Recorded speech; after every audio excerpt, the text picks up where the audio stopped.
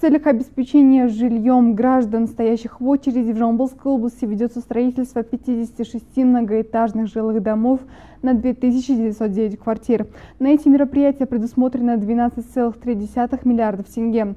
В этом году планируется завершить строительство 51 дома на 2569 квартир.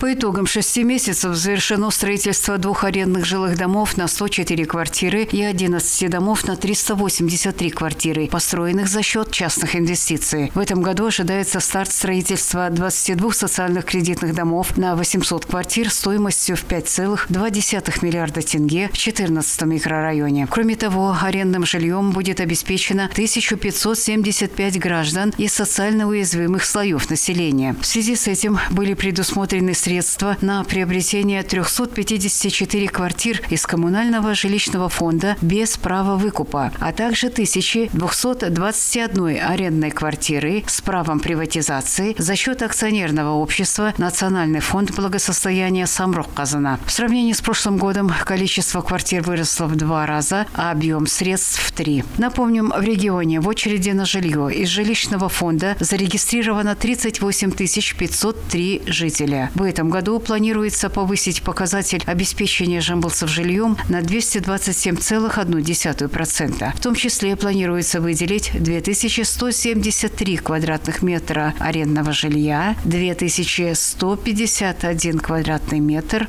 социального кредитного жилья.